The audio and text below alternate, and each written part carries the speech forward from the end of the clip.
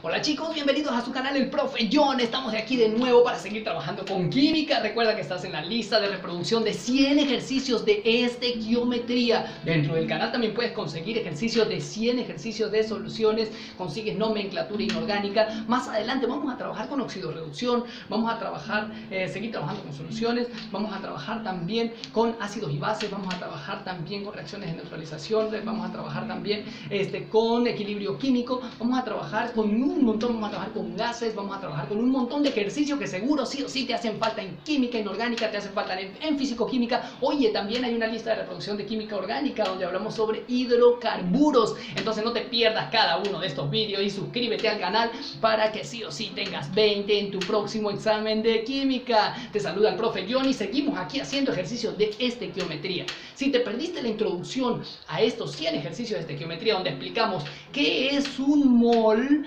Entonces aquí te dejo el enlace, accede allí para que primero entiendas qué es un mol, para luego vengas acá y comprendas lo que te voy a hablar. Bueno, si no lo entendiste, no importa, vamos a continuar y vamos a trabajar con una, un, un esquema que siempre les explico a mis alumnos para que se guíen a la hora de calcular, porque seguro ya te han mandado esos ejercicios donde dice calcula átomos, calcula moléculas, calcula moles, calcula gramos.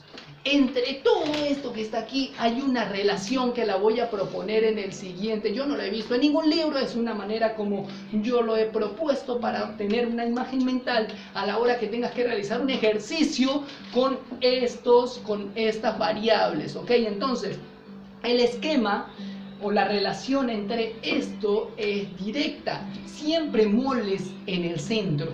Entre moles y gramos hay una fórmula que los comunica. Es decir, si quiero calcular gramos, puedo tener moles. Y si quiero calcular moles, puedo tener gramos. Igualmente, hay una fórmula o una regla de tres que comunica a moles con átomos y moléculas. Es decir, puedo calcular moles a partir de átomos o moléculas y puedo calcular átomos o moléculas a partir de moles. Y ese esquema para que lo tengas en tu mente y lo lleves al examen en tu mente, ojo, no en el plagio, no en la chuleta, sino que lo lleves en tu mente, es el siguiente. Siempre mol va a estar en el centro. Mol.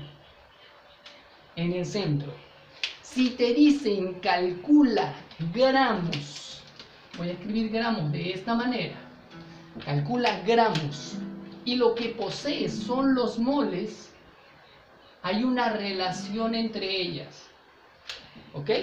Si estamos hablando de átomos, ojo, y aquí vamos a hacer la diferencia entre átomos y moléculas. Un átomo es un elemento solito, como por ejemplo oxígeno, como por ejemplo carbono, como por ejemplo, eh, ¿qué te digo yo? Azufre, como por ejemplo cloro, así solo, uno. Pero ya una molécula son la unión de dos o más átomos. Por ejemplo, si yo a este oxígeno le agrego uno más o dos, ya lo que tengo es una molécula. Si a este carbono le agrego unos tres carbonos más, ¿sí? tengo cuatro carbonos. Si a este azufre que está aquí le agrego un par de azufres más, eso ya es una molécula. Por ejemplo, si escribo agua y te pregunto, ¿eso es un átomo o una molécula? ¿Qué me vas a responder? Pues una molécula porque tiene más de un átomo, tiene dos átomos de hidrógeno y uno de oxígeno, tiene tres átomos, por lo tanto es una molécula. ¿Ok? Entonces, chicos, mol y gramos tienen una relación con una fórmula que simplemente debes memorizar y es la fórmula de masa molecular gramo de moles a gramos o de gramos a moles, vas a transformar con la fórmula de masa molecular. Anota allí, masa molecular gramo. Es igual a gramos sobre mol.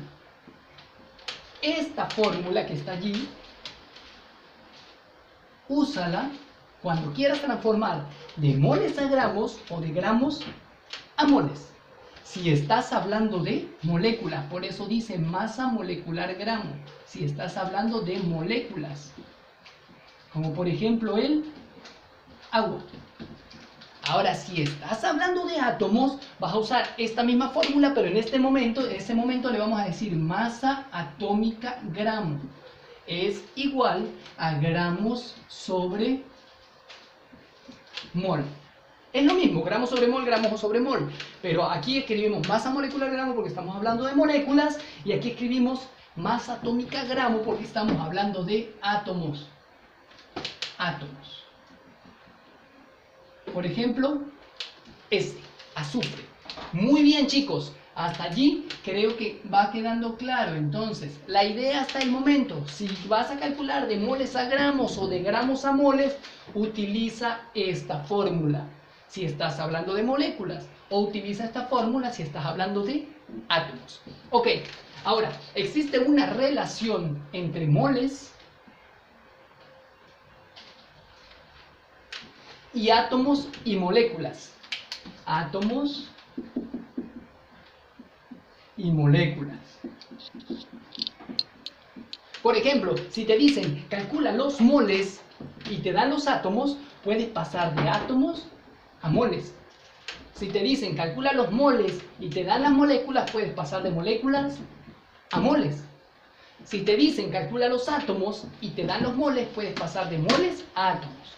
Si te dicen calcula las moléculas y te dan los moles, puedes pasar de moles a moléculas. ¿Cómo se hace? Se hace con el número de Avogadro. Con el número de Avogadro. ¿Qué dice el número de Avogadro? Dice lo siguiente para que plantees una regla de tres. Un mol de cualquier sustancia contiene lo que vimos en el ejercicio de moles. Accede al enlace para que entiendas lo que te estoy explicando en este momento. Número de Avogadro un mol contiene 6,022 por 10 a la 23 unidades, átomos o moléculas.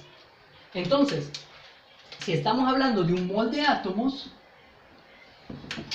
serán 6,022 por 10 a la 23 átomos. Y si estamos hablando de moléculas, vamos a decir que un mol contiene 6,022 por 10 a la 23, 23 moléculas. Un mol de moléculas, moléculas, contiene 6,022 por 10 a la 23 moléculas. Entonces, vamos resumiendo, chicos. Si tienes átomos y te piden moles, vas a transformar con el número de Avogadro. Si tienes moles y te piden átomos, vas a transformar con el número de Avogadro. Si tienes moléculas y te piden moles, vas a transformar con el número de Avogadro. Y lo contrario también es cierto. Si tienes moles y te piden gramos, vas a utilizar la fórmula de masa molecular gramo si hablas de moléculas y de masa atómica gramo si hablas de átomos. Si tienes gramos y te piden moles, vas a utilizar esta fórmula también.